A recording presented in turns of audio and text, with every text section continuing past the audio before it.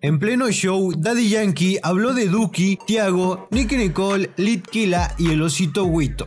Muchas gracias a los cantantes que están por ahí, oye. Y al Duki que está por ahí, Tiago, Nicky Nicole, Kila, el osito Wito, toda esa gente. La gira con la que Daddy Yankee se despide de los escenarios ha pisado Argentina con dos presentaciones en el emblemático Estadio Vélez y miles de personas han asistido para ver por última vez al reggaetonero en acción.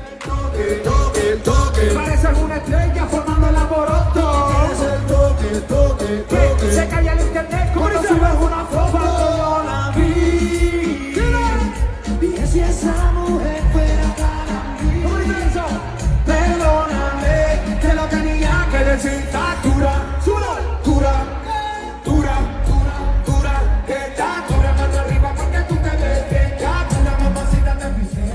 Durante su segundo show, el Big Boss, frente a las miles de personas que lo fueron a ver, habló de la escena nacional, mencionando a grandes representantes como Duki, Litkila, Nicky Nicole, incluso hizo mención de quien fue su telonero, el Osito Huito, que se le considera una promesa del reggaetón argentino por su estilo vieja escuela que nadie logra conseguir en esencia como lo hace él.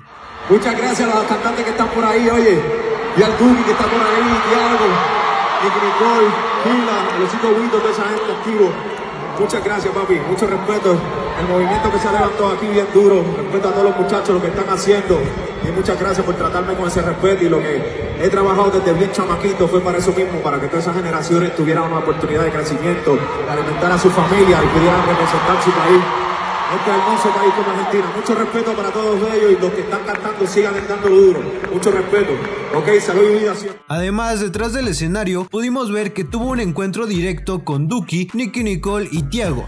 Es un trabajo increíble, se puede escuchar que Daddy Yankee le dice a los tres. trabajo demasiado, bien duro. Estamos haciendo un trabajo increíble. Muchas gracias a los cantantes que están por ahí, oye.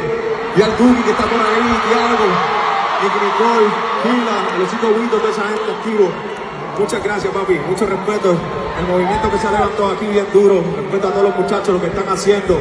Y muchas gracias por tratarme con ese respeto. Y lo que he trabajado desde bien chamaquito fue para eso mismo, para que todas esas generaciones tuvieran una oportunidad de crecimiento, de alimentar a su familia y pudieran representar su país. Este hermoso país como Argentina. Mucho respeto para todos ellos y los que están cantando sigan dándolo duro. Mucho respeto. Ok, salud y vida siempre.